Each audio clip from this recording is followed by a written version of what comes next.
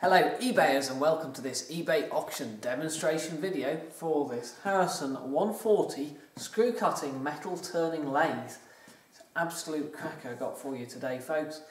The really important thing to clock on this one, Harrison 140 metric lathe, the 140, first of the metric series, but this comes inclusive with a massive package of accessories which include the fabled Imperial screw cutting gear.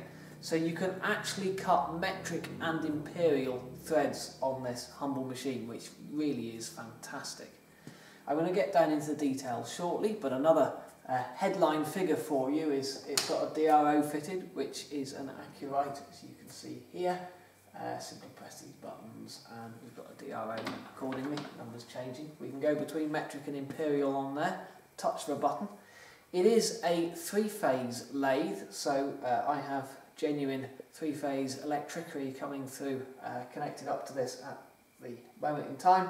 Um, I'm sure it could be run from an inverter as well if you have only got single phase. Um, another really rare feature of this lathe is actually got the two-speed motor. So uh, I'll put a close-up and I put lots of photos together showing this, uh, but there are two um, speeds the motor can be run at and therefore instead of the usual 8 speeds you actually get 16 which is very comprehensive indeed obviously. Um, gives you a really good range from 34 rpm up to a 1500 rpm really useful speed uh, for a lathe of this size. Um, again as I'll come to lots of equipment change wheels uh, and chucks faceplates um, steadies etc we'll come to that. Okay the Harrison 140 Uh, it is so named because of its centre height, uh, which is 140 millimetres, uh, which is about five and a half inches, and it's approximately 600 mil between centres, um, which would be about 24 inches, um, give or take. Um, those its vital statistics. You get a very generous spindle bore as well on that, on the 140. Uh, the taper on the uh, chuck uh, for the, the, the chuck fitting, the accessory fitting is a L00. Um, comes with a, a C spanner, um, so will be in the box. And uh, for taking that out, a nice simple uh, speedy change of the chuck uh, can be afforded by that. The tailstock is Morse Taper 3 and also nice goodie attached with this lathe is the fact it's got the Dixon quick change tool holder So if you're unfamiliar with the Dixon quick change, rather than a four-way tool post where you set it up and um, probably end up with one or two tools that you use and you rotate the thing um, and you end up cutting yourself on the tool that's sticking out all the time as, uh, as we did in the days before the Dixon. Uh, quick change, simply a question of doing that and you can have a stack of these, some of these included, uh, you can get more, quite a common, common thing and you can actually position lock it. And before you um, lock the tool, it's also very quick to set the tool up because you can um, set it in place here, but importantly you can adjust the height rather uh, sensitively using this. That's the locking. So you undo that, use this thumb screw, adjust the height up and down. Um, really clever invention um, for, uh, I suppose, aimed at production, but it, it, even on one-off lathe turning, it's an invaluable um, method. And of course we've got a compound slide here, you can set the angle of it uh, in the usual fashion. Um, as you'd expect from a comprehensive lathe, we have power surfacing and sliding, which means we can use the power feed to go that way and we can use the power feed to go that way, which is really good. Uh, and the lead screw is only used for screw cutting, which is this lever here. Um, so for those unfamiliar uh, with the exact details of the Harrison 140 I shall demonstrate. Uh, suffice to say, in terms of lathes, Harrison and Colchester, both really good brands. Uh, this one I believe dates from mid 70s. I shall look it up exactly. Uh, but uh, last of the proper British built machine tools um, in terms of quality because the modern day Chinese equivalent really cannot just get close to the um, design, quality materials, quality manufacture, quality finish that was produced with these machines. Um, this is an induction hardened bed. It's also a gap bed. This gap here comes out, you can turn bigger stuff, uh, which is, is marvellous. And these were built to last, and they're a testament to the fact that the majority of Harrison and Colchester lathes out there are probably still in use um, today. Harrison 140 was a favourite schoolroom uh, or educational uh, lathe um, because of its mass quality. Um, this example was uh, actually ordered and went uh, to a small manufacturing company um, and indeed I purchased it um, on the basis that it had a DRO, it had all the features I wanted and uh, although it's being used as a production lathe it had very little use. In fact they were selling it because they had um, CNC machinery that effectively press a button and, and they went. But they were in production, so they, they didn't need uh, a jobbing lathe, if you like, uh, such as this. Now, I'm only selling this cracking piece of kit because I've got another Harrison 140. I'm, I'm in love with the Harrison 140. Uh, there's not really anything between uh, between them uh, other than this one's got a DRO on, and uh, I don't use it. So might as well be this one. You're going to get the advantage of a uh, cracking piece of kit. And uh, I shouldn't really be selling, but unfortunately my hobby is vintage cars and I've been uh, acquiring far too much stuff than I've got space for at the moment. So it's going to find a new home. Right, let's get on with the demonstration. You've heard me talking long enough. Um, it shall continue, but at least there'll be a motor in the background to prevent you hearing it in full. So, cameraman, please come over a bit closer. Have a good inspection of the goods. Come on. Doesn't want to get up. Right, we have down here the on-off buttons we press that button. I forgot to say the most miraculous, useful and just genius point of this lathe is it has a clutch. So if you have a look, the chuck is not spinning. All perfectly stationary, but this out of the way to demonstrate. This is the clutch lever. So when I move this over here, it will engage. There we go. Move it back, it actually brakes and um, stops the chuck and obviously just disengages the drive. The motor continues going. Now if you were wanting to put a single phase conversion onto this uh, with a, a, single phase motor, maybe a one and a half, two horsepower single phase motor, the fact that that clutch is there would be a, an inherent advantage because you could leave the motor running all the time. Uh, with the three phase it's just yet another great thing to have. Uh, the controls for the three phase ordinarily are this lever here. So we're in low range forward, that's high range, and you see we're now going faster. So just to demonstrate that in um, sort of visual, if we want to go for the full 1500 RPM, uh, we use these levers here, so it's that, There we go. However, if we wanted to only go to 34 RPM, we do that so that it slows the motor down. And if we look at this chart here, we see that to come over there, this wants to come to the middle, that wants to go there, and that is 34 RPM. Now I hope as you're watching this you're noticing the ease with which I'm able to change gear. Uh, this is an all geared headstock so these levers effectively glide in and out of their positions. for The uh, speed required, follow this chart. Quite easy to do like that. This lathe also has uh, reverse, uh, both directions, uh, both speeds. Um, you don't have to, but logic dictates you should stop it before changing direction. Um, so we're now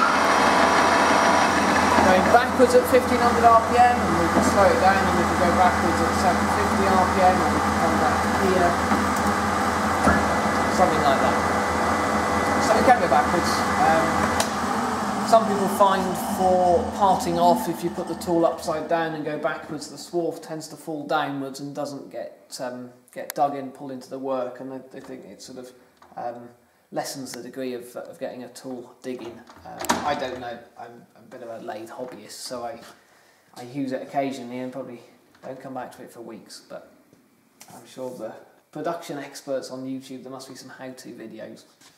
But anyway, that is the operation of the speed. It's got the Norton um, 36 speed gearbox. That's for screw cutting, but it's also for uh, changing speed when you're um, surfacing and sliding uh, for using the power feeds. Uh, now, I'll, I'll show you the power feeds now actually, it'll be prevalent to do so. So we go back on, we're in low range, um, not fast enough. Uh, if we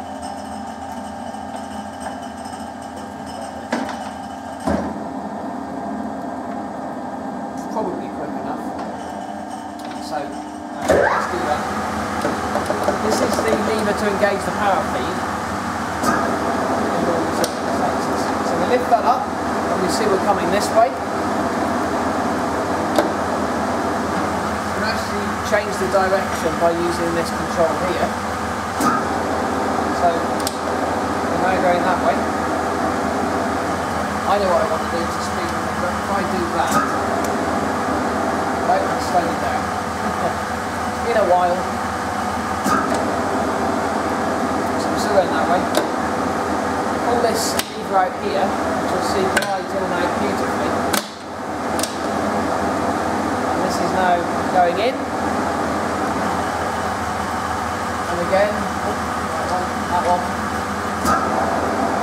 Now coming out.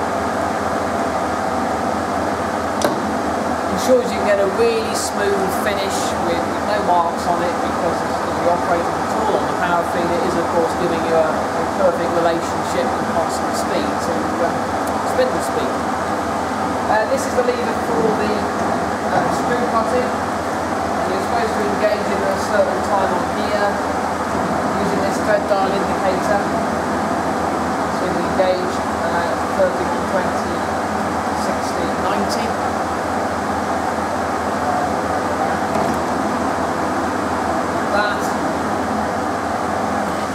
that. Feature, of course, because you can reverse it, if you were doing an unusual thread, you can actually leave the saddle engaged to the lead screw, so you can do a cut, go away, come back. You can electrically reverse it, so you're keeping everything together. Um, but with the, the, thread dial indicator, there's no need.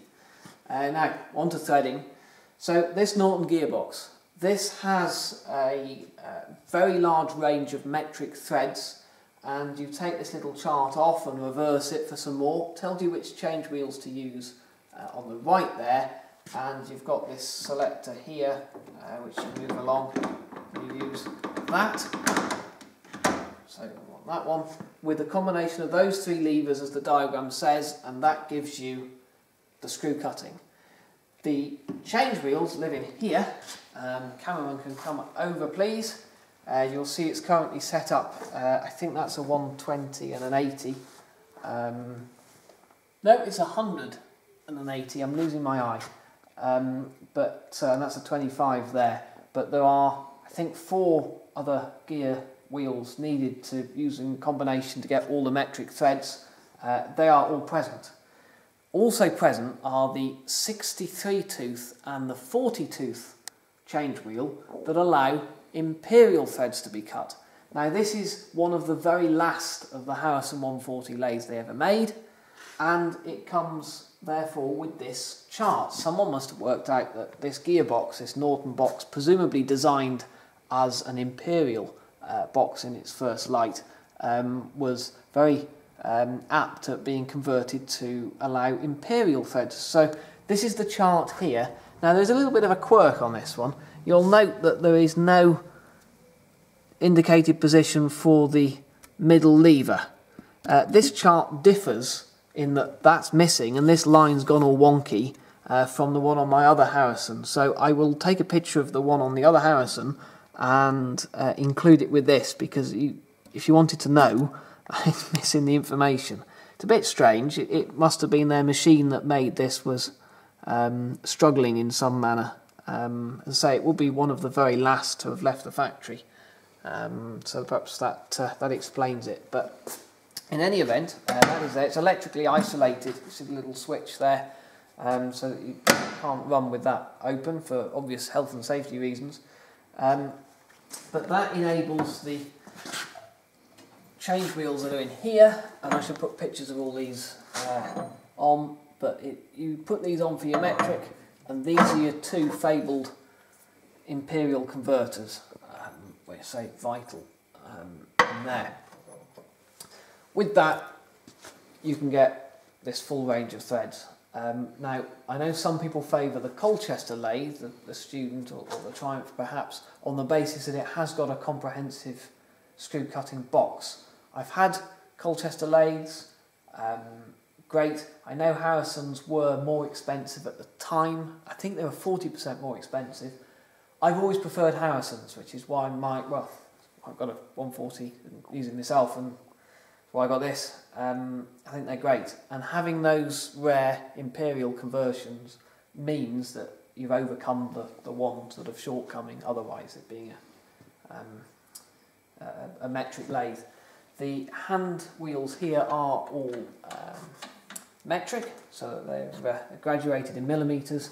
You have got um, a dual on here, metric and imperial, and of course, as I was saying, the uh, DRO gets you uh, both uh, metric and imperial at the touch of a button. So just looking inside this um, cabinet, I shall put pictures on.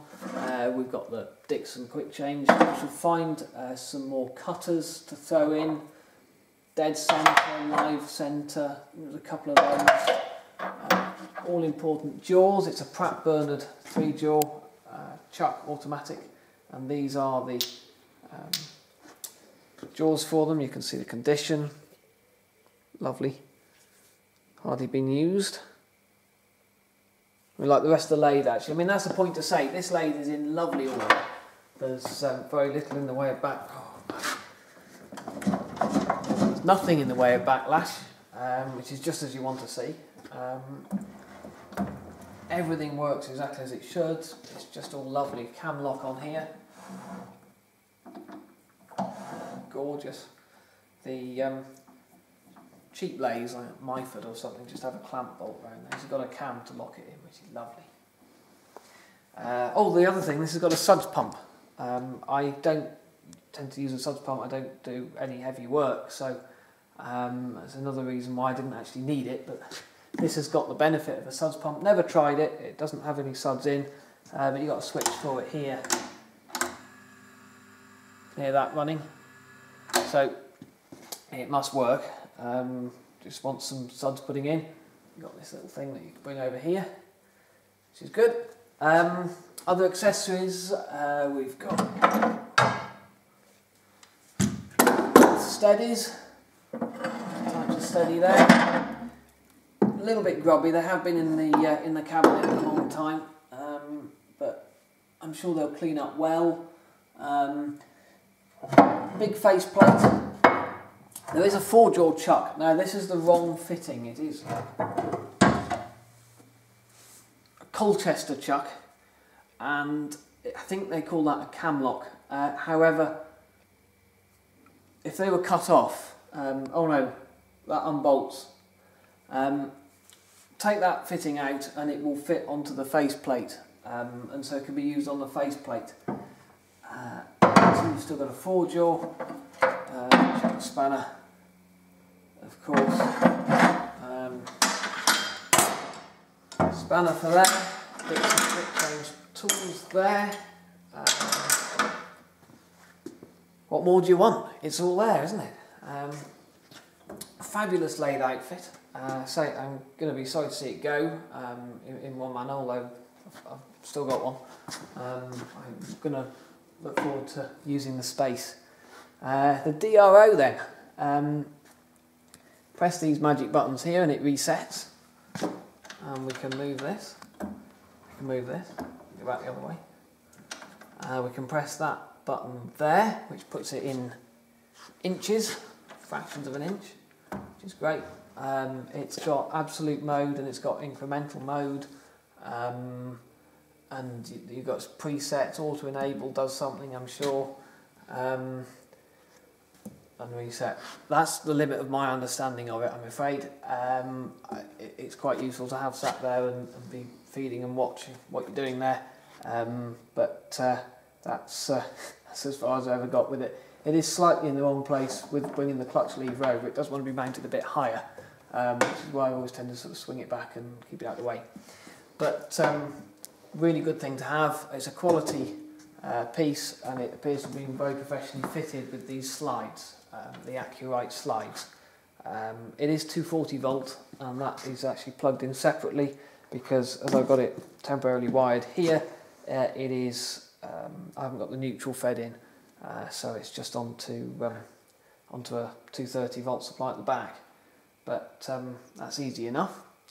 Right, I'm sure I've missed loads of things. Um, I just can't think what they are. So it's probably a really good time to say thank you for watching, uh, as ever with my videos. Um, keep the bids coming. And when you bid, I haven't told you that I've got a forklift. So loading is really easy um, because uh, it's already on a pallet uh, and uh, it can be collected. I'd like it collected within 10 days, uh, the auction ending please, and I'd like cash on collection. Um, it'll be loaded, I'm sure we'll get the kettle going as well, uh, so it'll be tea and biscuits for the lucky winning bidder, free of charge. Excellent. Do keep those bids coming, and if you have been, thank you very much for watching.